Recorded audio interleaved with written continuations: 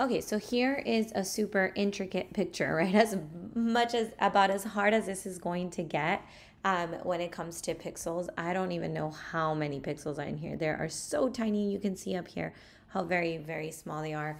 Um, and then obviously right here, these are just so, so tiny. Um, but it's super easy to then create these um, numbers, these blocks, these cells that we can very easily manipulate and type into. And so will students. Um, so here, this is going to be um, the way that we can, I wanted to show you from scratch how you can create these fields. So let's say we wanted to have more numbers here, more problems. I am going to start here and it's just selecting. So here on the side, we're going to select a couple. Well, I'm selecting those because they are super tiny.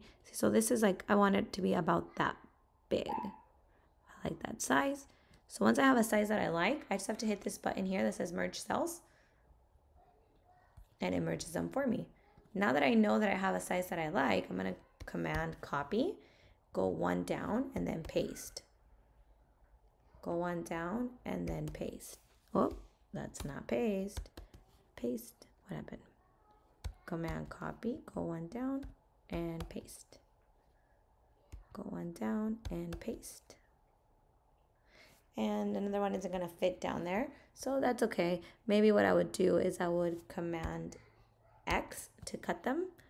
I know I'm very, um, sometimes I'm very anal in how I want them to look. So I'm going to command paste. And then I'm going to command um, X again to cut them. Command X because I wanted them more centered. And I'm going to go back off here to the side. Command paste. Okay, so that is um, so I can have new, more problems in here. And now well, we need a field for the actual problem block. So I'm to go directly next to it and select some of those. It has to be up to there. No, maybe a problem that is this big. I'm trying to match them to the other cells. These are skinnier than the ones above there. But it's just to get you to see the gist of how um, you can make your field. So I'm going to command copy now, go one down, paste, go one down, paste, go one down, paste. Okay, now that I have all those, I need um, more fields on the side. Paste, paste, paste, paste. And then if I'm going to put an, like numbers here and then I want their answers to be on the next one, then I need another row. That's why I have three rows on the other side. Paste, paste, and paste. All right, so this is how you make the fields. And now that I have these, well, I can copy the whole thing, go one to the side here, and paste that whole block in there and then go to the side and paste that whole block there. And then here on the side, it's not enough. So what I'm going to do is I'm just going to select all these together. And I like putting little, I like putting um, emojis in there. So not, why are you doing this? Oh, it's because those are all, I don't know why, because I have this here. I'm going to unmerge those. I like to clean it all, all up at the end. But again, that's not a necessity. You don't have to do that. So select them all, merge those together, and then I'll end up putting some sort of like little picture of a Christmas tree or um, a menorah or something like that to make sure that um, everyone's represented. So, all right, now here, I'm to put my problem numbers. One, two. Ooh, they're not centered. Let's center them all. Centered, centered. Two, three, four, five, and so on and so forth. All right. Now for the answers. So let's say this was just a multiplication problem. Um, this is going to multiply to 15. This one will multiply to negative 8. This one will multiply to um, 24. This one will multiply to 48. And this one will multiply to 54. And so on and so forth, right? So we would have answers here. So I want to show you how much easier it is to code it this way. This is the whole purpose of this. So what I do is I create the worksheet in advance and then I have my answers all set up and ready to go. So obviously this is really hard to see what field this is. So the way that I do that is I right click on my answer and then I'll go to the conditional formatting first and right here I know that this is field D21. Okay, so this is D21. So I would write that down. I would have a sheet of paper next to me with all of those written down.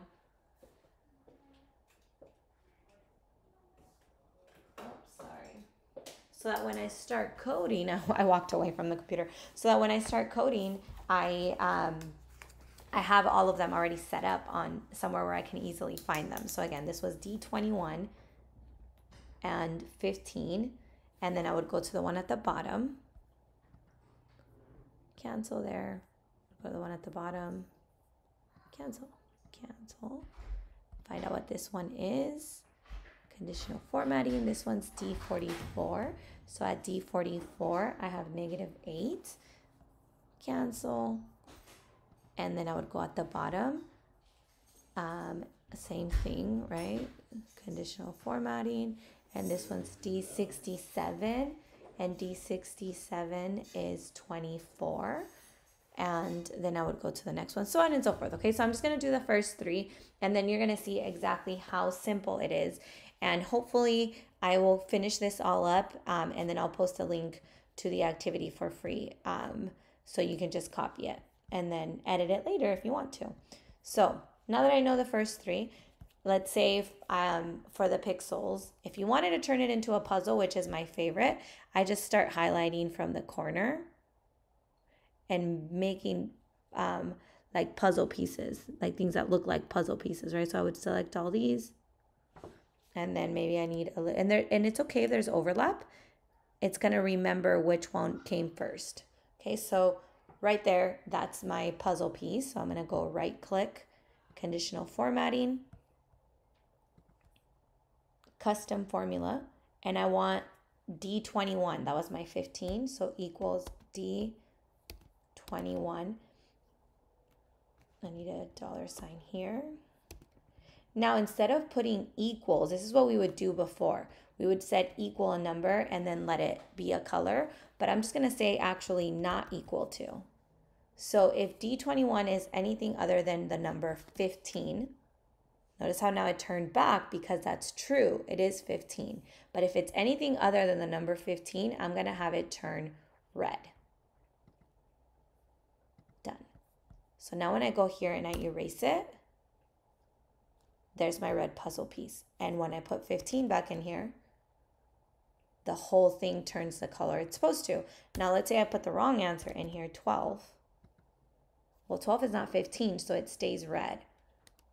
So this is super, super helpful if there's um, puzzle pieces and things like that where um, like if your answers, not puzzle pieces, if your answers are exact answers and you can't have other options. So, for example, I make a lot of activities that have multiple answers, like, for example, one half, but students can write one half as 1 over 2. They can also write 0.5. Some students will write 0.5. Other students will write 0.50. So I have to account for all of those. That doesn't work for these types. Um, so again, but if there's only one answer, which is the majority of the ones that we do, then this does work. And let's say you like the sporadic ones, the ones that just pop up in different places. Well, then you can just select little tidbits of it. So I'll select that and then a little piece of Buddy's face and a little piece of the Grinch and right here and so on and so forth. I'm just selecting little tiny pieces just like you would have if you were selecting pixels. And then I'm going to go conditional formatting, custom formula. Now I'm going to do the D44 for negative 8. So that's going to be equal D44. And if D44 is anything but negative 8, now watch all of them turn the right color because that's true. I'm going to have that turn red. And now when I go and I delete this, boom, there's all those little pixels. So much easier and it saves so much time because you didn't have to create this um, pixel picture. Um, I hope you find this helpful and that you find it useful. If you do, let me know um, in that Facebook group that someone just created with all the pixel activities. Um, there's so many free things, so many there, um, so many activities for us to share. Um, hopefully, you find something in there that you like. Bye.